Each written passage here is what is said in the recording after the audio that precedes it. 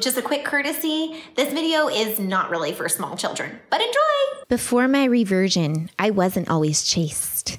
In fact, they used to call me Laura the Hora, Laura who wants to scora, back of the bus blondie. We need to reject our culture's modern view of beauty. In fact, I love my wife's cottage cheese size. I love her waffle butt.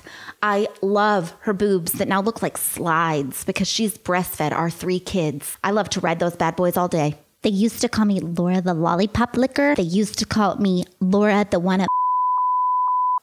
That one still hurts a little. I am here to talk about today something that rhymes with mastication. It is self gratifying and self injurious and not ordered towards the proper order of things. It What can are you talking do. about?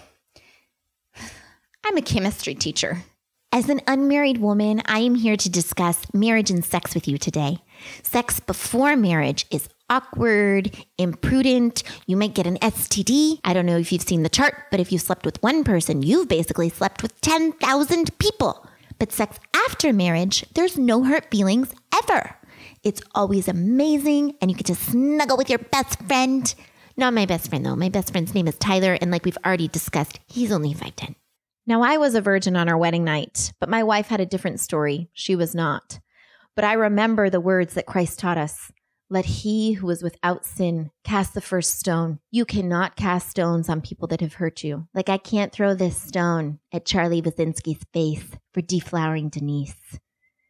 I can't do it. You can't do it.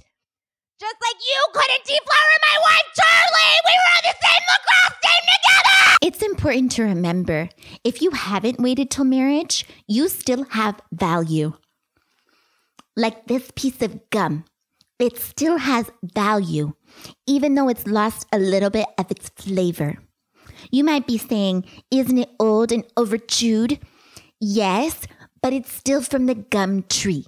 So we're going to pass this around and chew it and see how it's still valuable, like you, even though you're flavorless, valuable gum.